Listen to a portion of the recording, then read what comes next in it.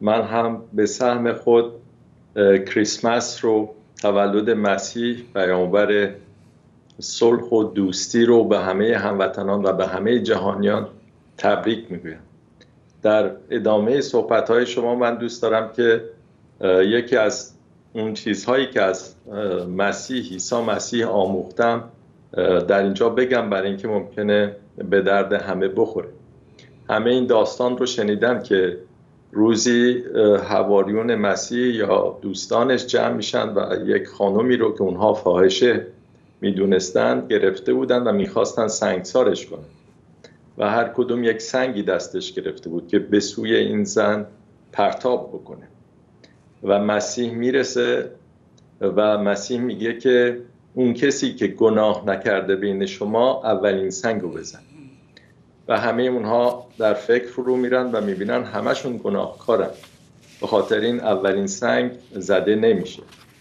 این پیام به ما میگه که هیچ چیزی با زور با خشونت با جنگ حل نمیشه.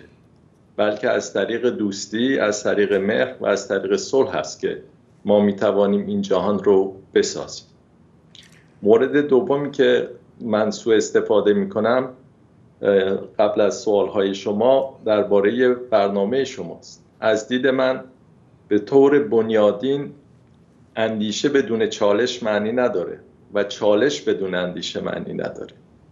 اگر اندیشه در جهان به وجود اومده و رشد کرده به خاطر اینکه مورد چالش قرار گرفتن اندیشه و چالش هم اگر می‌خواد اندیشه بپرورونه فقط از طریق اندیشه می‌تواند نه از طریق زور و از طریق شعار و حرفای بیمورد بخواید بدین خاطر امیدوارم که من این سهم تلخ رو نداشته باشم که در آخرین برنامه شما شرکت بکنم و امیدوارم که در سال 2018 برنامه شما ادامه پیدا بکنه و مثل همیشه با محتوا و پرمحتوا باشه. سپاسگزارم آقای دکتر. برویم سر مسائل جهان که کم نیست. جهانی که سال 2017 رو تجربه کرد پرقدرت ترین کشور جهان هنگامی که چشمانش را در روز 20 ژانویه به طور مشخص به خیابانهای واشنگتن دوخت در 21 ژانویه با بزرگترین تظاهرات سراسری در آمریکا روبرو شد و تظاهرات اعتراضی به ویژه از سوی زنان علیه رئیس جمهور آمریکا دانالد ترامپ بود. کارنامه یک ساله دانالد ترامپ به باور من اونهایی که دوستش دارن و قبولش دارن به کنار. به باور من کارنامه در راستای تخریب دستاوردهای آمریکا فروریزی اونچه که در این سالها به دست آمده و گام برداشتن در مسیری بوده که برای 99 درصدی های آمریکا نبوده بلکه یک درصدی های آمریکا. از این اگر عبور کنیم آنچه که آقای دانالد ترامپ برای جهانیان می‌خواد عرضه بکنه بسیار متفاوت از اون چیزی که در درون کشورش انجام داد نیست. می‌تواند بسیار تخریبی و به سوی جنگ باشد.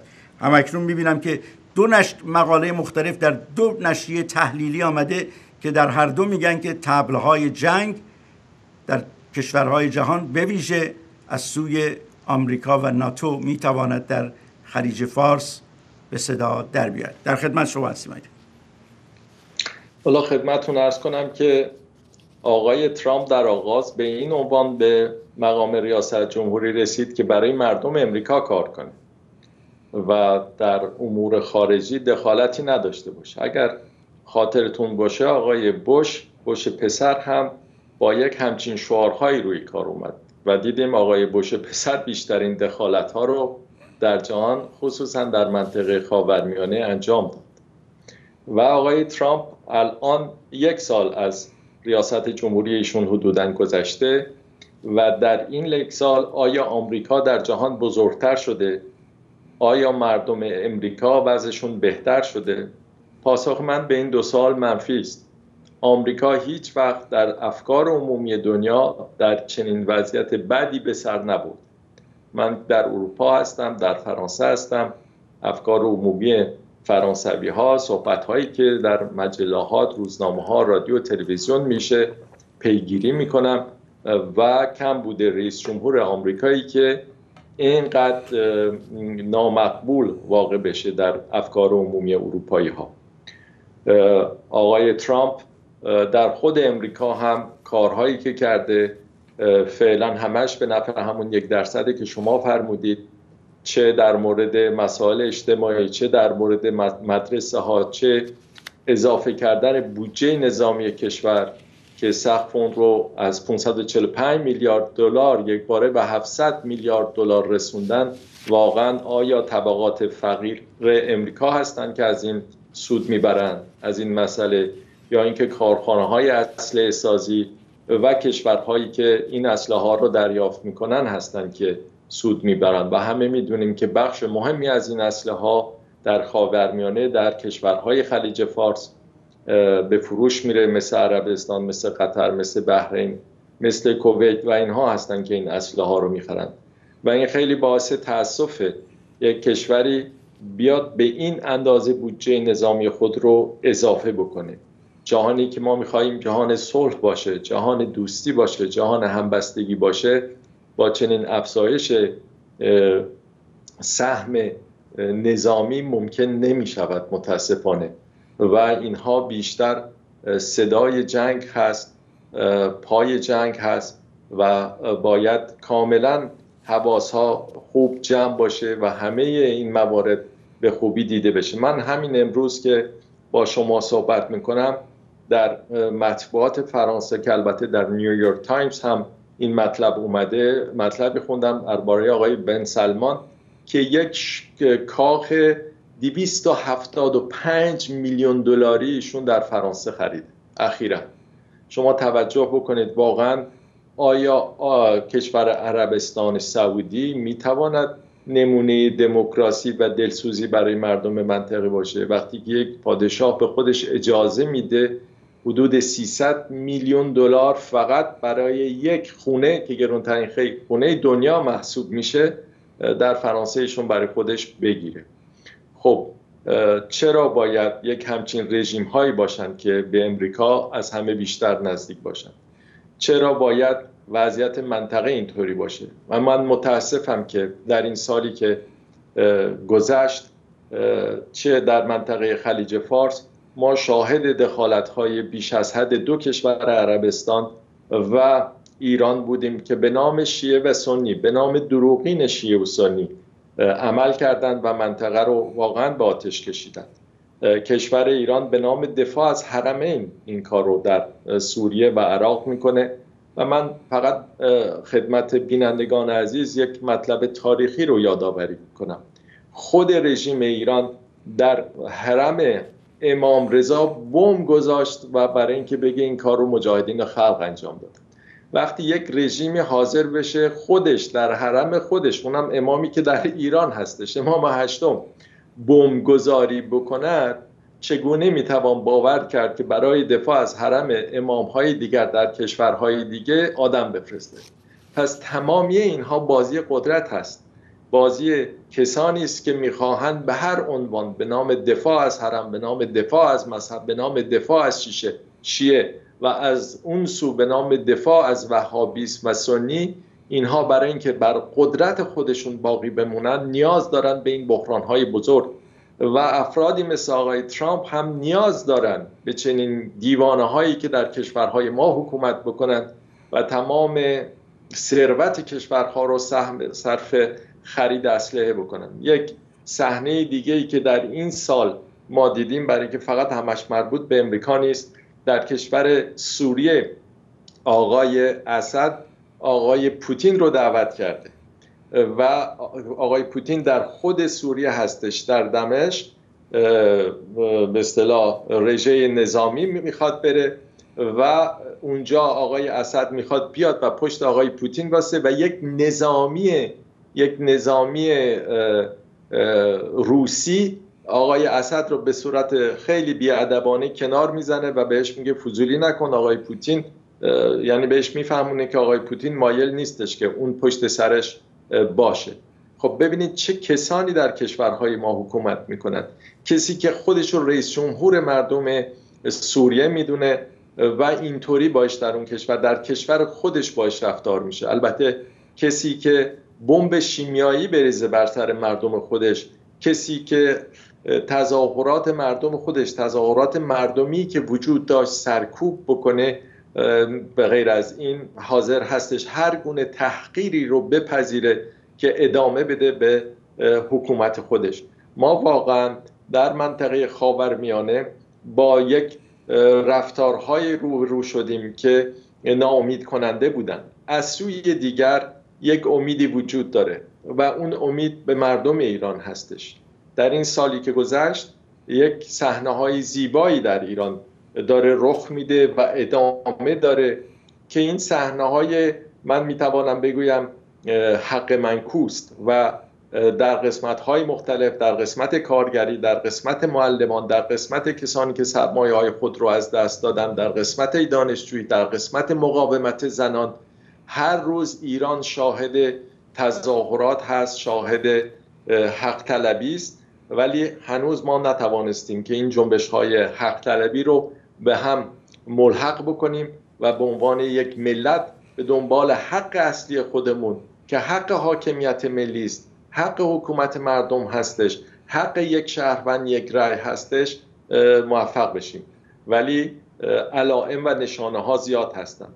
این حق طلبی مواجه شده با یک امر دیگه ای و اون هم واقعیتی است. آمریکا در منطقه خاورمیانه با وجود اینکه میلیاردها اسلحه به کشورهای خلیج فارس میده ولی اولین بار است که منزوی است در جهان. ببینید رأیی که در سازمان ملل داده شد برای اولین بار بود کشورهای اروپایی خواستار چنین رأی بودن همچین چیزی قبل وجود نداشت. رئیس جمهور فرانسه آقای مکرون بعد از این رأی گیری گفتش آمریکا منزوی است در جهان بر سر مسئله اورشلیم. فقط نه خب. کشور آی دکتر فقط نه کشور به, به سود آمریکا رأی دادن. یعنی عددهایی که نشون داده می‌شد فقط نشون داد که نه کشور با آمریکا هم فکر بودن و اتفاقا خانم نیکی ایلی هم گفت کسایی که به ما رأی مثبت حالا ندادن عواقبش رو خواهند دید. بله این خانم صحبت هایی می‌کنن بسیار عجیب غریب و در مجمع یهودیان امریکایی هم که حضور داشتند ایشون گفتن اگر کفش پاشنه بلند میپوشند به خاطر این نیست که کفش پاشنه بلند زیباست و به امر زیباییشون کمک می‌کنه. بلکه برای این است که مخالفند و اونایی که مخالفند را بتوانند به بهترین وجه له بکنند. خب چنین صحبت هایی واقعا قریب از افرادی که مسئولیت های بسیار مهم دارند. مسئولیت سخنگوی اولین به اصطلاح خودشون قدرت جهانی هست ملل. و این صحبت ها بیشتر صحبت است در سطح آقای محمود احمدی نژاد. من واقعا فکر می کنم که اگر آقای ترامپ یک حسن برای ما ایرونیا داشته اینکه یک مقداری از اون خجالتی که داشتیم و آقای احمدی نژاد 8 سال رئیس جمهور کشورمون بود حالا به زور تقلب و به زور سرنیزه می توانیم بگیم خب شما هم در امریکا آقای ترامپ رو دارید به عنوان رئیس جمهور. برای اینکه متاسفانه رفتارهایی که صورت می‌گیره از سوی آقای ترامپ در همون حدش شما باز هم اخیرا بخش دیگری از روانشناس ها و روانکاو های آمریکایی مقاله ای نوشتن که چقدر ایشان دوست داره ازش تعریف بشه و چقدر به اصطلاح خودمحور و نارسیسیست خودش نارسیسیست هستش و این واقعا برای یک کشوری که تمام قدرت نظامی است و بودجه نظامیش تا این حد بسیار برای جهان خطرناک هستش. از این رو گفته ها و نوشته ها در شبکه های اجتماعی در رادیوها و تلویزیون ها بسیار اهمیت داره که باعث نشه خدای نکرده یک جنگ هایی صورت بگیره که اینها اگر صورت بگیره غیر قابل جلوگیری هست ازش و خساراتی که وارد خواهد کرد بسیار بزرگ خواهد بود ای دکتر من هم نیستم که آقای ترامپ شاید بخوایم درباره برجام هم صحبت بکنیم بله. در من می‌خواستم همین برای که زمان از دست ندیم ایزه بدین که به دو نکته در مورد آقای ترامپ حتما اشاره بکنیم یکی در مورد برجام هست که من بعد از اینکه خب دولت آقای ترامپ اون رو تایید نکرد و انداخت به توپ رو به مجلس. مجلس هم در واقع اون 60 روزش رو از دست داد. اینجا بسیاری عبور کردن از این مسئله. یکی این رو حتما می‌خوام بپردازیم و بعد از اون حتما به سراغ خانم نیکی ایلی میریم و مسئله حوسی ها شما اگر ممکنه در این زمینه حتما برای ما صحبت کنید که این بر اساس برجام این توپی که رفع این سو و در همون مجلس مون حالا چه آینده ای داره؟ از دید من آقای ترامپ صد درصد این سیاست رو دنبال می‌کنه که ایران رو کاملا در منطقه منزوی در جهان منزوی بکنه این یک سیاستی است که ایشون پیش گرفته و در این سیاست دو کشور مهم منطقه یعنی اسرائیل و عربستان با دولت آمریکا همراهی کامل می‌کنن و حتی تقاضای اون دو کشور از آمریکا هستش برای این سیاست. خب آیا با به اصطلاح کم اهمیت دادن به برجام و بهتر بگیم به روح برجام برای اینکه یک رابطه ای بین ایران و آمریکا یا حتی ایران و اروپا صورت نگیره آقا نقشه آقای ترامپ چیست؟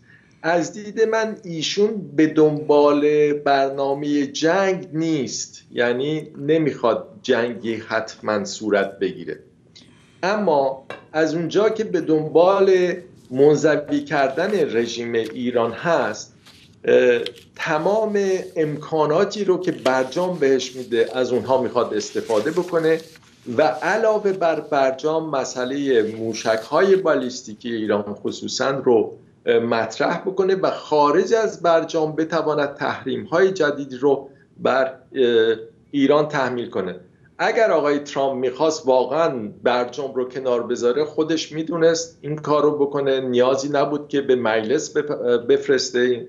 و مجلس هم می‌توانست دوستان آقای ترامپ کم نیستن در اونجا. به حال می‌توانستن اگر می‌خواستن می‌توانستن برجام رو لغو کنند ولی نکردن.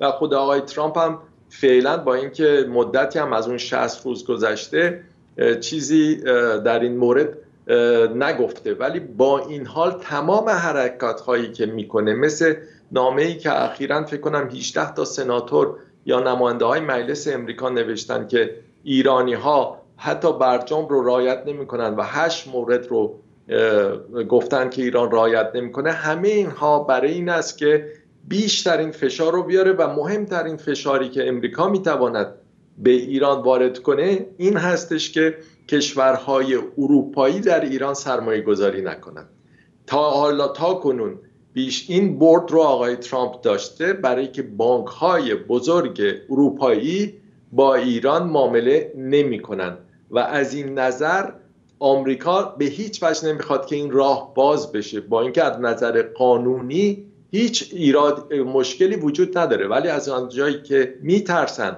آمریکا تحریم های جدیدی رو طرح بکنه بانک های اروپایی فعلا منتظر ایستادن با اینکه می‌دانند بازار ایران براشون مناسب هستش می‌توانند سودهای بسیاری ببرند. با این حال در حال صبر و انتظار هستند. من با بسیاری از صنعتکاران صحبت کردم با کسانی که در رشته های مختلف کار می‌کنند و همه اونها به من این اطلاع رو میدن که بانک های کوچک اروپایی فقط با ایران تانستن رابطه اقتصادی رو برقرار کنند که اون هم به کار ایران نمیاد. پس آقای ترامپ اولین هدفش این هست. هدف اولش این هستش که ایران رو کاملا منزوی کنه. اقتصاد ایران رو بتواند هرچه بیشتر بهش فشار بیاره که می‌بینیم با اتفاقاتی که در داخل ایران افتاده و در این زمین هم موفق شده. به دنبال این هستش که طرحهای تحریمی جدید رو شاید به اسم برجام نباشه و به اسمهای دیگه مثل موشک های بالیستیکی و یا رفتار تروریستی یا هر چیزی دیگه که اسمش رو بخوان بذارن آقای ترامپ به دنبال این هست. و تا کنون می‌توانیم بگیم موفق شده زیرا اروپایی ها حالا اگر بدن وقت شد من می‌تونم درباره سیاست دولت فرانسه و اروپا توضیح بدم برای که بسیار اهمیت داره در این زمینه. آقای مکرون می‌خواد به ایران مسافرت کنه و من می‌تونم راجع به هدفش از مسافرت صحبت کنیم. برای اگر می‌خواید درباره خانم هیلی صحبت بکنیم. کوتاه در مورد خانم نیکی هیلی. این اووردن این موشک در پس زمینه حضور خودش و تصاویر و باقی مانده های این ماجرا درست تقریبا در همزمانیه برای اینکه آقای کالین پاول در سال در فوریه 2003 آمد در سازمان ملل و سخنرانی کرد. حالا ایشون در دسامبر 2017 فاصله زمانی زیادی نیست. این حس جنگی رو که با اینکه شما میفرمایید که ترامپ علاقمند به جنگ نیست آیا این حس جنگی رو که عربستان و اسرائیل علاقمند هستن که در اونجا محوریت داشته باشن رو تقویت نمی‌کنه؟ اونها که اولا خانم هیلاری باید میگم خانم هیلاری خانم هیلی باید جواب می‌دادن که اون بمب هایی که روی مردم یمن ریخته میشه اونها ساخت کدوم کشور هست. اونها ساخت کشور آمریکاست به عربستان داده میشه و مردم یمن زیر اون بمب ها زندگی می‌کنن. اگر اون موشک رو ایران داده اونور هم عربستان اون بمب ها رو میرزه ما نمی‌توانیم بین این دو انتخاب کنیم. ما نمی‌توانیم به عنوان ایرانی دموکرات بین کشور عربستان و بین رژیم جمهوری اسلامی ولایت فقیهی انتخاب بکنیم. هر دوی اینها از نظر ما محکوم هستند. هر دوی اینها کشورهای با نظامهای غیر انسانی هستند غیر دموکراتیک هستند و حتی ضدیت دارند با حقوق ملی خودشون. خب ولی این به مسئله جنگ بپردازیم من میگم آقای ترامپ قصدش این نیست. ولی آقای ترامپ اگر خود ایران به اصطلاح کارهای انجام بده که تسهیل بکنه مسئله جنگ رو مایل خواهد بود. ولی منتظر هستش که ایران به صورت واکنشی واکنش نشون بده و تا بتواند یک برخی از نقاط ایران رو بزنه. از دید من بعید هستش بسیار بعید هستش که رژیم امریکا لشکرکشی بکنه به ایران ولی زدن هوایی برخی از نقاط نظامی و یا هسته ایران این غیر ممکن نیست. ولی برای همون هم نیاز داره که ایران یک واکنش هایی نشون بده چنان که گاهی اوقات نشون میده سپاه پاسداران. ما این ظروف مرتبطه رو داریم از دو طرف همه کار می‌خوان بکنن تا این بحران و فروش اسلحه در منطقه ادامه پیدا بکنه و مردم خاورمیانه در خفت و خاری فروش منابع خودشون و صدور سرمایه های ملی خودشون سرمایه های خصوصا انسانی ادامه ادامه بدن. در این وضعیت بسیار بد. خب آقای دکتر برای اینکه به همه مسائل نمی شود رسید در این زمان کوتاه باقی مونده اگر ممکن است کوتاه در مورد مسئله فرانسه و نگاه فرانسه بفرمایید چون من بعدش می‌خوام در اون وقت باقی مونده کوتاه به مسئله ایران اشاره کنیم به ویژه آقای روحانی و اینکه مردم مردم چه خواهند کرد و چه می‌کنه آقای مکرون یک شانس تاریخی آورده و می‌دونه این شانس تاریخی رو این شانس تاریخی آقای مکرون این هستش که در آمریکا با آقای ترامپ روبروس که در افکار عمومی دنیا منزوی است. شانس دیگه ای که داره این که انگلستان در بحران خروج از اروپا به سر می‌بره و با خروج از اروپا به چیزی نرسیده بلکه همه میگن وضعیت انگلیس بدتر میشه. و شانس دیگری که داره این که در کشور آلمان خانم مرکل هنوز نتوانسته یک اکثریتی رو به دست بیاره برای اینکه حکومت باثباتی رو مثل ده سال قبل ادامه بده. خب حالا می‌خواد برای این شانس هایی که داره به فرانسه یک نقشی بده. به فرانسه یک نقش معاملگر و بخش کسی که می‌تواند بین ایران و کشورهای دیگه ای که فرانسه باشون رابطه خوب داره مثل عربستان و همینطور که الان گفتم این آقا بن سلمان اومده اینجا یه دونه کاخ گرفته بی خود نیستش. اینا پولهای فراوانی در فرانسه خرج می‌کنن کشورهای خلیج فارس. حالا آقای مکرون می‌خواد بره ایران می‌خواد بره اونجا چی بگه به ایران به دولت ایران؟ می‌خواد بگه که اگر می‌خواهید که اروپایی ها جلوی آقای ترامپ بیستند و با شما رابطه اقتصادی داشته باشند شما باید برنامه موشک های بالیستیک خود رو کنار بگذارید. این پیا این کاری است که می‌خواد آقای مکروم انجام بده. یعنی بره اونجا و مستقیما و رک بهشون بگه که شما اگر این کارو بکنید من می‌تونم کمکتون کنم. کمکتون کنم یعنی چی؟ یعنی در اونجا سرمایه گذاری رو در ایران تحصیل بکنم. با عربستان صحبت کنم با اسرائیل صحبت کنم که راه دیگری به غیر از جنگ هست. به اصطلاح میانجی بشم بین ایران و عربستان و حتی با, با اسرائیل برای که با اونها رابطه خوبی دارم. حالا آیا آقای مکرون در این سیاست خودش موفق میشه یا نه نمی‌دونیم. خیلی زود پاسخ گفتن به این. ولی اون می‌خواد از این خلع استفاده کنه و برای فرانسه در دنیا یک نقش مهمی قائل بشه. چیزی که فرانسه در دورهای قبل در این ده سال اخیر نداشت و از دست داده بود خصوصا با توجه به شخصیت آقای برک اوباما که در آمریکا بود یا خانم مرکل که در آلمان بود و یا در انگلستان که حکومت های باثبات و در داخل اروپا وجود داشتن خب برویم سر ایران در این بخش پایانی. آقای دکتر در ماهی که گذشت دو آقای روحانی در افزون بر مسائل مختلفی که بود دو تا چیز مشخص داشتن. یکی اینکه بودجه خودشون رو به مجلس دادن حالا بودجه ای که بسیار هم پر هیاهو هست. و دیگر اینکه در پس از اون در یک هفته بعدش در یک کنفرانس حقوق شهروندی شرکت کردم من می‌خوام شما برای اینکه زمان رو از دست دادیم در مورد هر دوی اینها نخست در مورد بودجهشون صحبت بکنیم و اگر ممکن است اشاره داشته و بعد بریم سر حقوق شهروندی و چه باید کرده جامعه ایرانی. خدمتتون رو کنم که بودجه آقای روحانی بودجه آقای خامنه است یعنی اون چیزی است که آقای خامنه خواسته. چرا؟ این چنین بودجه رو برده. دقت بکنیم در اونجا حدود سی درصد بودجه سپاه پاسداران رو بخش دفاعی رو بالا برده. بودجه بنیادهای مذهبی و این گروه های مختلفی که وجود دارند مثل مؤسسات نشر ما نمی‌دونم حوزه علمیه و بسیار این صدها مؤسسه اینطوری وجود دارند. بودجه اونها هم اضافه شده. بودجه عمرانی کشور اینطور که گفته شد 25 درصد کمتر شده. یک بودجه است که وابسته به نفت وابسته به عوارضی است که از واردات می‌گیرن یعنی غیر مستقیم وابسته به نفت و تورمزاست و نقدی هم بیشتر شده در ایران.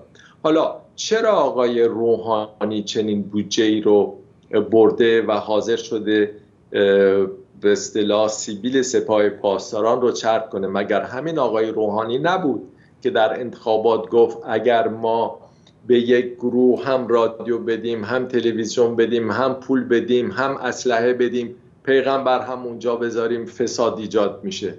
خب چگونه است که برخلاف اون گفتههاش اومده هم به اینها امکانات زیاد داده بودجه بیشتر بهشون داده و دستشون عملا در سیاست خارجی کاملا باز گذاشته آقای ظریف تبدیل شده به کسی که به اصطلاح در کارهای پروتکلر شرکت می‌کنه بیشتر تا در تصمیم گیری های مهم سیاست خارجی ایران و سیاست خارجی خصوصا سیاست منطقی عملا در دست آقای قاسم سلیمانی است. گفته میشه که آقای خامنی حال خوشی نداره. و گفته میشه که آقای روحانی و کسانی که با اونشون صحبت می‌کنن به این نتیجه رسیدن که باید ایشون کاندیدا بشه برای رهبری بعد از آقای خامنی تا بتواند اون قدرتی رو که در قانون اساسی داده شده ایشون داشته باشه و عمل بکنه. خب بر فرض اینکه چنین نقشه ایشون داشته باشه باید گفت آیا سپاه پاسداران سپاه پاسدارانی که هر روز فر بهتر از روز قبل میشه و همه چیز رو در دست گرفته اقتصاد و سیاست داخلی و وزارت اطلاعات و سیاست خارجی و جنگ و همه اینها رو در دست داره راضی میشه که کسی به رهبری برسه که سیاست اون رو اجرا نکنه؟ غیر ممکنه راضی بشه. پس حتی اگر تحت این امر این فکر این پروژه این تصمیم گیری رو گرفته باشه تصمیم گیری کاملا غلطیه. همینطور که در سر انتخابات من گفتم رأی دادن به آقای روحانی اشتباس برای که انتخابی در این رژیم وجود نداره. این رژیم یک ساختار بسته ای داره که الان ولایت فقیه به صورت ظاهری بالاست و تمام این دستگاه دست سپاه پاسداران هستش. و اونها حکومت, حکومت رو می‌کنن. حتی بعضی از این تظاهراتی هم که ممکنه به وجود بیاد در داخل ایران گوشه و کنار ممکنه سپاه به خاطر ضعیف کردن آقای روحانی این کارها رو هم انجام بده. پس نتیجه حکومت آقای روحانی که الان پنج سال هست در مقام ریاست جمهوری هست وضعیتی است که الان وجود داریم. تمام کسانی که تشویق کردن گفتن با آقای روحانی باید رأی داد تنها صحبتی که می‌کنن این که اگر رأی نمی‌دادیم شاید وضعیت بدتر می‌شد آقای رئیسی میومد آقای رئیسی کیه؟ آقای رئیسی همون آقای خامنه است آقای خامنه ای که اونجا نشسته خیلی فربه داره کاراشو انجام میده سیاستش رو تحمیل می‌کنه. چیزی انجام نشده. آیا از وضعیت آزادی ها بیشتر شده؟ حالا آقای روحانی می‌توانند برن ده تا نطق درباره حقوق شهروندی بکنن.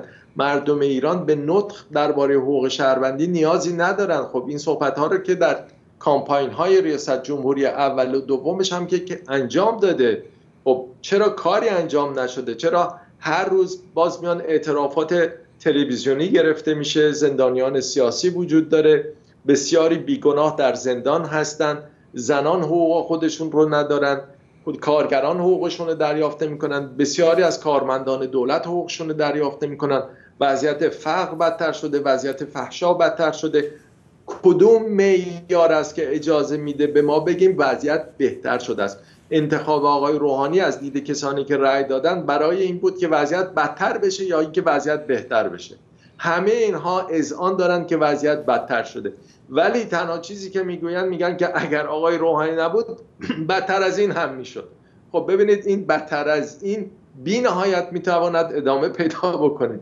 فردا آقای رئیسی هم انتخاب بکنیم. بگم اگه آقای رئیسی نبود آقای رئیسی نبود آقای ایجهی بود نمی‌دونم آقای کی بود اون وضعیت رو از این هم بدتر می‌کرد.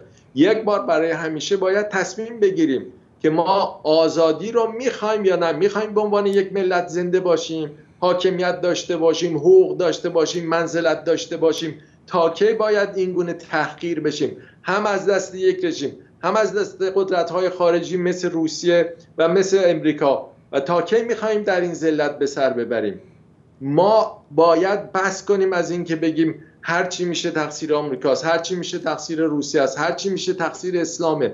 هر ایرانی باید بگه هر چی در ایران میگذرد من به عنوان یک نفر به عنوان یک فرد در این وضعیت مسئولیت دارم. و به مسئولیت خودش بپردازه ببینه چیکار می‌تواند بکند که این وضعیت تغییر پیدا بکنه. ما الان دیگه در وضعیتی نیستیم که کشورمون بتونه در دراز مدت با این وضعیت ادامه بده. همه خطرها وجود داره. خطر جنگ وجود داره. خطر تجزیه وجود داره. خطر بیابان شدن کامل ایران وجود داره. خطر از بین رفتن خاک ایران وجود داره. ما باید تا کجا این بد و وضعیت بد و بد بدتر رو بپذیریم تا بتوانیم بیدار بشیم و بگیم ما به عنوان انسان ایرانی هستیم. می‌خوایم این وضعیت رو تغییر بدیم. این خب. تصمیمی است که باید هر چه زودتر بگیریم. خب آقای دکتر ما سه دقیقه بیشتر وقت نداریم. به این ترتیب اگر مردم ایران از شما بپرسن که چه باید کرد چه چیزی رو دارین شما پیشنهاد می‌کنین برای این تغییر اگر بخوایم بر بشمونید در این سه دقیقه باقی مانده چه خواهد قبل از همه چیز ما باید یک اساسی را بپذیریم که حولش همبستگی نشون و اون اساس و بنیاد چیزی به غیر از حقوق شهروندی حقوق مدنی و حقوق ملی نیست. همه باید در این مسئله با یکدیگر توافق داشته باشیم و همبستگی نشون بدیم. خب آیا این برای یک جامعه کافی است؟ نه کافی نیست. باید فعالین سیاسی مبارزین سیاسی نشون بدن که مستقل هستن از رژیم ایران. یعنی امید خودشون رو به رژیم ایران نمیبندن. مستقل هستن از قدرت های خارجی از اسرائیل از عربستان از فرانسه از آمریکا. به خودشون به مردم خودشون تکیه می‌کنن. آیا این کافی است؟ نه کافی نیست. باید در این برهوت اخلاق یعنی در این برهوت فساد مبارزین سیاسی باید از خود اخلاق نشون بدن. باید نشون بدن که éthique دارن. باید نشون بدن که دست به هر کاری نمی‌زنن برای به قدرت رسیدن. باید نشون بدن که حامل و شامل و زندگیشون یک پرنسیپ هایی وجود داره. آیا این کافی است؟ نه کافی نیست. مخالفین سیاسی باید برای مسائل جامعه برنامه داشته باشند. با گفتن اینکه جمهوری اسلامی یک رژیم بدی است جمهوری اسلامی باید برود چیزی تغییر نمی کند. برای مسئله انرژی ایران برای کودکان خیابانی برای مسئله زنها برای مسئله آموزش پرورش باید برنامه های جدی داشت. همبستگی به روی دفاع از حقوق حقوق شهروندی حقوق مدنی حقوق ملی و با اخلاق و درایت و با برنامه های جدی. من دعوت می‌کنم از کلیه مبارزان مبارزانی که این اصول رو میپذیرند این شرایط رو میپذیرند با یکدیگر هماندیشی بکنیم تا بتوانیم ایران رو به وارد یک افق دیگه بکنیم. سپاسگزارم آقای دکتر. من می‌خوام از بهروز عزیز یک دونه ویدیو هست. اولین ویدیویی است که کلیپی که هست آماده کنه که یه مقدارم تنز تلخ توشه. من این رو میگم و بعد خداوزی خواهم گفت چرا تنز تلخ خوشه با آقای ترامپ شروع کردیم با آقای ترامپ هم به پایامه آقای ترامپ یک فردی رو به عنوان قاضی فدرال معرفی کرده به مجلس سنای آمریکا که از اونجا این آقا رأی اعتماد بگیره قاضی فدرال رأیی که می‌گیره و وقتی که وارد کرسی قضاوت شد مادام العمر یعنی تا زمانی که خدافزی نکرده در اونجا هست. آقای برای اینکه ترجمهش رو دوستانی که ممکن است انگلیسی ندونن بدونن میگم آقای کندی که در اونجا سناتور است از این آقا می‌پرسه آقا شما تا حالا تو دادگاه ظاهر شدی؟ قضاوت کردی؟ خیر. به عنوان وکیل وارد دادگاه شدی که یک پرونده ای رو در برابر قاضی ارائه کنی؟ میگه خیر. در این قضیه بودی نه. پایین میاره میگه آقا شما عاقبت به عنوان کسی که دپوزیشن می‌گیره وکلا پیش از دادگاه دو سو در دفتر از فرد سوال می‌کنن که شبیه خود دادگاه ولی دو سه نفر است. میگه آیا شما در اینم بودین؟ میگه دور دانشجو یه دفعه رفتم توی یه دپوزیشن خودم هم انجام ندادم. کس دیگه انجام این وقتی من دوستان به من ایراد می‌گیرن چرا با آقای ترامپ ایراد می‌گیری؟ آقا می‌خواد بر محور قضاوت در این کشور به طور مادام العمر شخصی رو بذاره. که میگه من هیچ کاری رو بلد نیستم. فقط از دانشکده حقوق سالهای پیش ایشون فارغ التحصیل شده. چون این ت... بدین از شما خداویزی کنم. همراه با شما آقای دکتر مصطفی با بینندگان نیز خداحافظی می‌کنم. بدرود میگم. تا درود دیگر. امیدوارم درود دیگری باشه. برای همگان شادی بهروزی. برای مردم ایران آزادی. برای مردم جهان صلح حاضر می‌کنم در آستانه سال 2018 سپاسگزار آقای دکتر. چنین باد. خداحافظ.